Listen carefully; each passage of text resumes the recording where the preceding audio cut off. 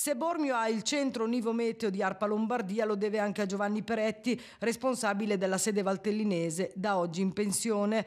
La sua carriera dopo la laurea in geologia è iniziata 36 anni fa come volontario per un paio di mesi, poi l'assunzione come dipendente dell'allora nucleo valanghe di Regione Lombardia.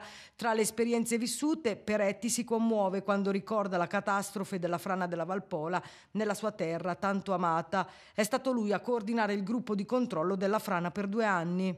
Dopo due giorni che ero rientrato dal militare, eh, ho ricevuto una telefonata, mi volevano in una multinazionale in geotermia e mi avrebbero pagato molto bene, cercavano un, un job. 12 milioni? Eh sì, e io eh, avevo le radici come i larici piantate in questa terra e quindi ho deciso di, di rimanere qua.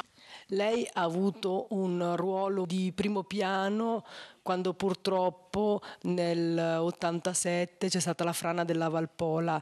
Già nei giorni prima 600 frane avevano bersagliato il territorio. L'unico ufficio della regione è a monte della frana, non c'era la protezione civile regionale non c'era il centro monitoraggio geologico che è stato creato negli anni successivi, negli anni 90 e quindi eh, l'allora prefetto straordinario Gomez si chiamava, mi aveva incaricato di coordinare un gruppo di 150 ragazzi, tra cui tantissimi, una cinquantina proprio di ho voluto io di Sant'Antonio Morignone, il paese che era stato distrutto dalla frana, eh, e coordinarli per tutte le attività diciamo, di osservazione, di rilevamento. Sotto quella frana tanti amici?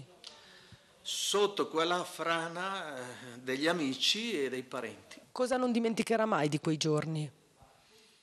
Ma non saprei dire, sono talmente entrati nella pelle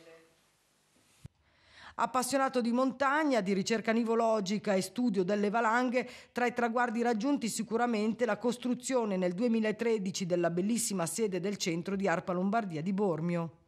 Ci siamo messi a studiare un ghiacciaio tipo, tutti i mesi da vent'anni a questa parte siamo andati su quel ghiacciaio negli stessi punti a fare gli stessi rilevamenti. Quindi abbiamo una, una serie storica di vent'anni che al mondo non ha nessuno.